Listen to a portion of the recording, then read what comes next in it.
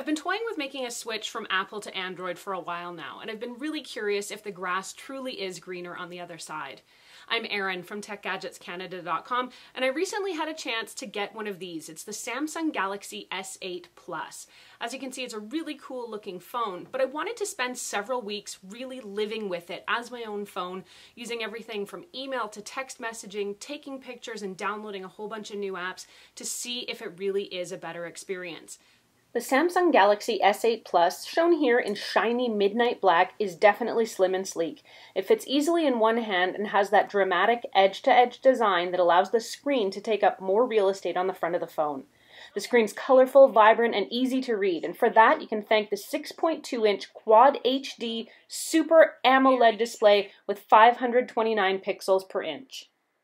Getting the new Samsung Galaxy S8 Plus set up was super easy. Of course, you can set it up as a brand new device from scratch, or you can transfer your old data from an older Android phone or even from an Apple phone. The Galaxy S8 Plus makes it super easy and it'll walk you through everything step by step. Even so, if you've got questions, I wrote a blog at techgadgetscanada.com called Switching from Apple to Android Samsung Things You Need to Know Before You Make the Switch. You'll want to check that out if you still have questions. I found the battery life on this device excellent. After a full 8 hour workday and then activities and tasks well into the evening, I was still able to head off to bed with about 30 or 40% battery remaining. During my review period, I used Samsung's native email app, and I have to say, I didn't love it. It was easy to get different email accounts set up and to manage them, but I didn't like the main inbox screen and didn't find it indicated clearly enough which emails were new and which were previously read. By contrast, in Apple's Mail app, seen here on the right, there's a large blue dot to the left of each email to indicate it's unread. It's vibrant and easy to see at a glance. Samsung's, by comparison, uses a much smaller and more subtly colored dot, and once read, the dot changes from a medium blue to a light blue. I personally found it hard to see this clearly, and I was unable to find any settings in the phone that could customize or improve the Mail app beyond this. If any of you out there have any tips, please let me know in comments. I often found with the Galaxy S8 Plus that there were extra taps or extra steps required to do some things. Case in point was using the lock screen. You put in your password, but you still have to put in the OK button before it'll take you to your screen.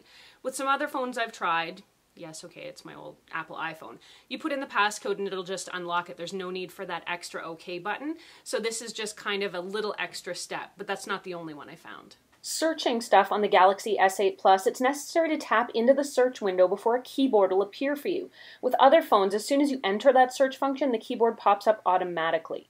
Long text messages don't display fully in the text window. You'll get a couple centimeters of message and then a prompt at the bottom that says View All. Yet another click, which to me anyway is unnecessary. So I realize we're talking about split seconds and single clicks here. Is this enough to make the user experience a lot worse than other phones?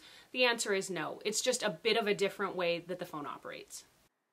If you've read any of my previous blogs about the Samsung Galaxy S8 devices, I've raved about the camera. And after a month of steady use, my feelings have not changed. If anything, I'm more in love with the camera on this device than ever before. The pictures just seem more vibrant and intense. The filters, the settings, and the options with the camera are just a lot more fun. A really great feature I found is that when recording video, the display will show you how much total video time you have left to record. This is super handy so I can keep an eye on how much memory I have left and how much time I can record. One of my favorite features is selective focus. It works on both the front and the rear camera and allows you to highlight an area within about 50 centimeters of the lens. The camera will focus on that particular spot and blur out the background for professional looking photos. Somewhat amazingly, you can also adjust this type of photo once you've taken it so the foreground will be out of focus and the background sharp if you've changed your mind about what you want. Overall, I really love the photo quality with the Galaxy S8 Plus. I find the photos more vibrant, sharper, and with the wide angle lens, I get more stuff into the pictures. There are a lot of different ways to access the Samsung Galaxy S8 Plus. You can use a traditional passcode, you can use a pattern, um, facial recognition, of course, an iris scan, even facial recognition. So there's a lot of ways to get into the phone. You can use whichever one you prefer. Now this is the point where I'm going to join legions of other people and complain about the placement of the fingerprint scanner. It's here on the back. It's up next to the camera. And the way I normally hold my phone it's just impossible to reach. It's not in a natural spot. You've kind of got to fiddle for it and find it. And really, you're constantly smudging the camera screen while you're doing that. So hopefully in the next generation of Samsung Galaxy, the fingerprint scanner will be located perhaps more sensibly on the front of the phone. One thing that didn't occur to me when I made the switch from Apple to Android Samsung is how much it would affect my communication with family and friends. I would say that after doing a bit of a count in my head, about 9 out of 10 of my family members have iPhones. At work, I would say 6 out of 6 of my immediate coworkers on my team have iPhones. So, having been the only one to switch over to Android, I found I was getting left out of a lot of conversations. So, group conversations, group chats, where in the Apple world you can see what's going on, you can see who's weighing in. Once I've made that switch to Android, I can see the initial message, but then I'm left out of the rest of the group chat. So take a poll of your family, friends, coworkers, that kind of thing, and really ask yourself if you're going to be able to sort of be left out of a lot of those circles potentially. Now, if your friends and family and coworkers are all in the Android ecosystem and you're making that switch, you're going to be good to go. Overall, I really, really liked the Samsung Galaxy S8 Plus.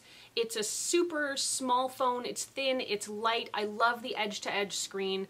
Watching videos and just doing any tasks on the phone are super enjoyable because the screen is just really great to look at, to watch. The bulk of my nitpicky complaints about the phone, I think, have a lot more to do with me needing to adapt, to go from that Apple world into the Android ecosystem and just relearn how to do a bunch of things. It's not about the phone not working or not being responsive or not being a good product, it's more about my needing to adapt. The Samsung Galaxy S8 Plus is available from a variety of cell phone carriers across Canada, and of course, depending on which plan you get, it's available at a variety of price points. Thanks so much for watching this video. I've got a lot more detail in an article, actually a couple of articles online at techgadgetscanada.com that you can go and check out and read more about my experiences moving from that Apple to the Samsung to the Android world. I hope you'll go and check them out. Thanks again for watching. Don't forget, until the next time, you can find me on Twitter or Instagram at Erin L. YYC.